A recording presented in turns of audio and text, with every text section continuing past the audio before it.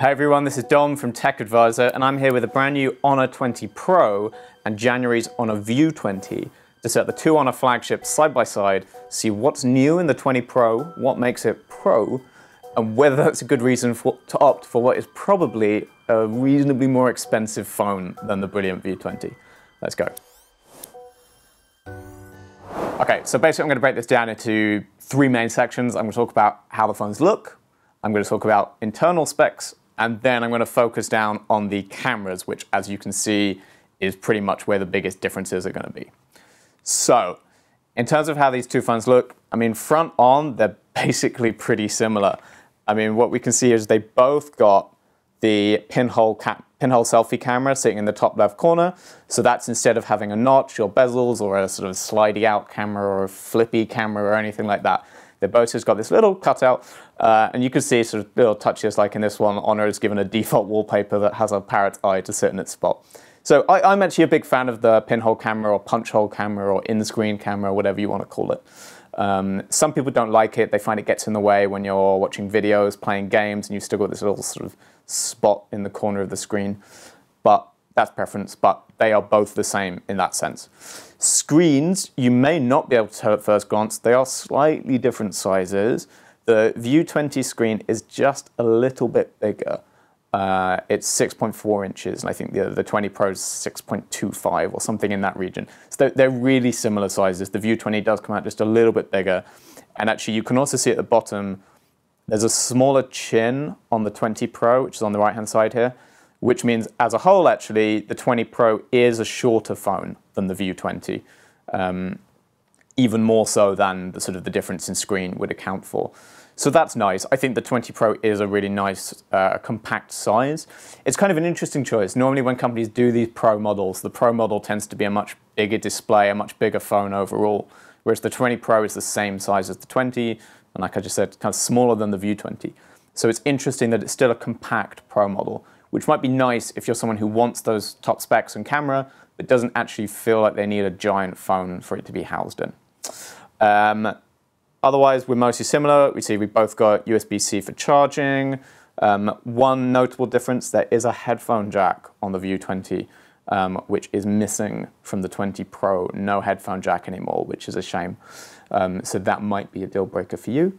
Uh, and on the side here, we'll see one of the other big differences. This uh, power button here doubles as a side fingerprint scanner. Um, so it means it's sort of there quite in a quite natural position when you're holding the phone with your thumb there. Um, whereas on the View 20, we have the rear fingerprint scanner in that kind of classic place for your finger to pick it up while you're, while you're there. So um, there's not a lot in it, really. It's just That's just a design preference. Uh, and getting to the back, then fairly similar. Uh, as you see, there's quite different colors, but they, they both have slightly different color ranges. Um, uh, you would be able to get the 20 Pro in this blue, which is kind of the iconic Honor color, I guess. Um, they're both the black models. Um, I think there's a red View 20, there's, but you can't get it in this kind of purpley finish. There's also a greenish one of the 20 Pro. So the colors are a little different, but they've all, they all do this kind of, you know, nice reflective glass, gradient finish. Um, one touch on the View 20 you can hopefully see is that there's this V gradient that runs down it. V view, you know, you can see where they're going with it. Nothing like that on the 20 Pro. So again, that's just uh, going to be a question of personal preference, whether you like. I'm a, I, I love the the look of the back of the View 20. Actually, it's for my money uh, one of the most beautiful phones out there from just a physical design standpoint. And I think 20 Pro looks lovely, but it's not quite on the same level without that kind of V effect. But, you know, that's just taste. Um, both got, you know, just Honor logo there. Camera, obviously, I'm going to talk about that properly later, but you can see there is a big difference. Much smaller camera module on the View 20 and it's horizontal versus this big, chunky vertical one uh, on the 20 Pro. That difference is accentuated when you set the phones side by side like that, as we can hopefully see, there is a big camera bump on the 20 Pro. It's real bad. Uh, this is up there with the Huawei P30 and P30 Pro for like big camera bump. Uh, it means if I set the phone down, uh, there's like a big rocking effect because it just doesn't sit flat. So you're probably going to want a case on this thing rather than scratching those lenses up.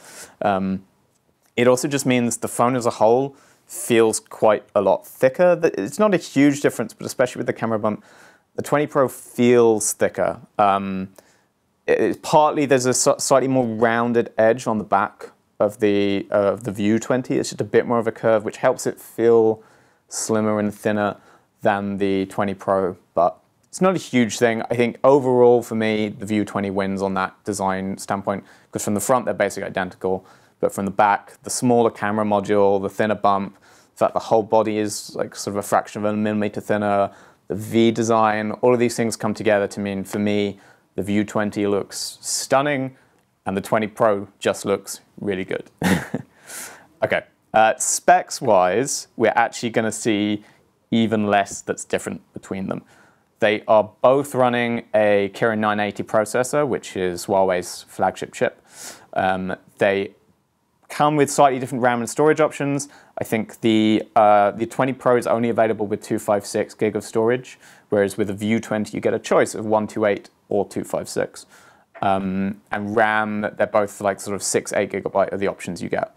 Um, basically, performance-wise, these are going to be identical. They're both going to run stuff really quickly, I mean, we're, we're talking, you know, the flagship uh, processor, we're talking top RAM, top storage. These are going to be very fast phones. They're going to be capable of anything you throw at them, whether that's video or multitasking or gameplay stuff. Honor's making a big fuss about how good these phones are for gaming. They've partnered with Fortnite and stuff like that to uh, emphasize that you can sort of play Fortnite at 60 FPS and things like that. There's game mode and all that kind of stuff built in. So they're the same. Specs wise, these really are fundamentally in the same space. There's nothing to really pull them apart.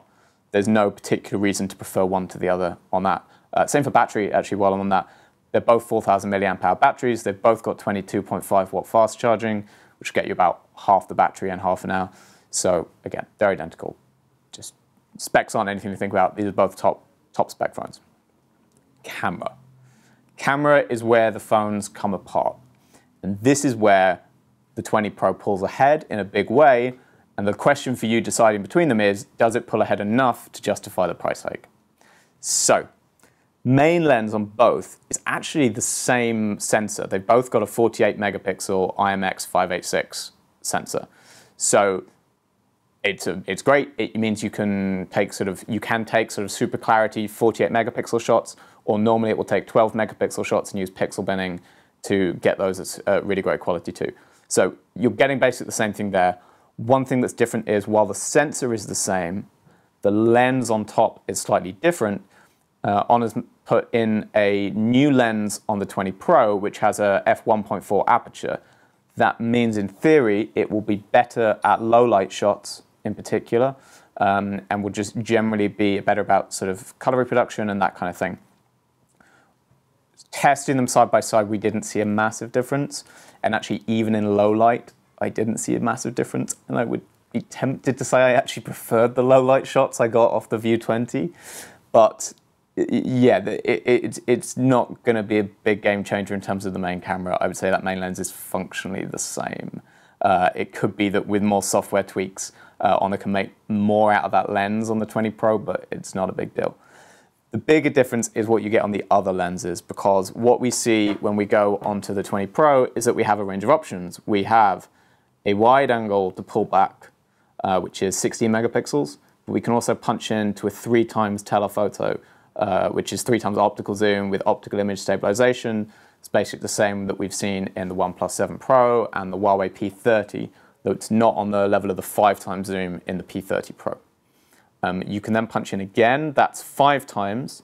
That's a combination of the optical zoom and some digital stuff from the main lens, and you can zoom into a ridiculous 30 times over there, but as you can probably see, that that's when the quality does, does drop off. But that's the big thing you're getting here that the View 20 just doesn't offer.